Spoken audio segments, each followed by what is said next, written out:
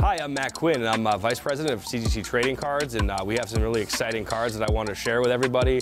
This Black Lotus is, you know, an Alpha Edition one, most coveted, most people think there is out there, but in fact, there's a rare Black Lotus than the Alpha version.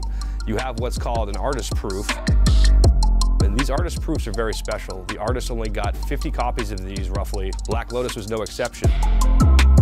This Black Lotus can be differentiated by others as simply as this. It has a white back on it. And the most remarkable part about this is that we actually have two of these, two of them at the same time. So having two of these iconic masterpieces of Magic the Gathering is just remarkable upon itself. Are just so rare that they're just unprecedented to see as a pair of themselves, but it's just one of the things that advanced collectors really enjoy because of the rarity of these items.